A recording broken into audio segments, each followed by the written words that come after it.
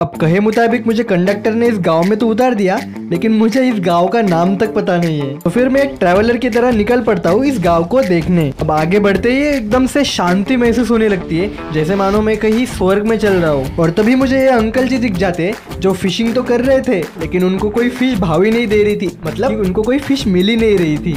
फिर थोड़े कदम और आगे बढ़ते ही मुझे नारियल दिख जाता है। अब दिल तो था उसे हाथों से ही तोड़ दूँ, लेकिन किसी ने देख लिया तो प्रॉब्लम हो जाएगा, ये सोचकर मैं आगे बढ़ जाता हूँ। फिर इस गाँव को अच्छे से देखने के बाद मैं सोचता हूँ कि यहाँ से अब निकलते हैं, और तभी मुझे ये दिखता है। इतने सारे बदक है भाई, कितने सारे बदक है, देखो एक बार आप। पूरा लगभग पूरा खेत उनसे भरा हुआ